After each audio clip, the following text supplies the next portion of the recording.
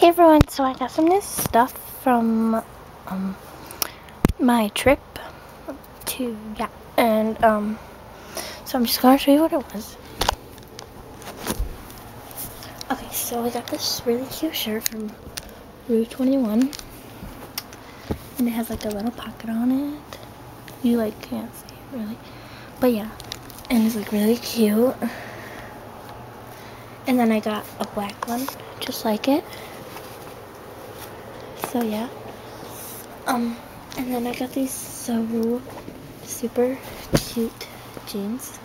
They I mean not jeans um but um shorts. They're like really cute and they're $9.99 yeah and they look really cute. And there's a pocket.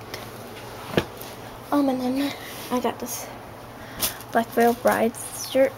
Um I already have one but it doesn't have purple it's just black and like kind of like this color so yeah. I really like it. It was um from Hot Topic $20 so yeah.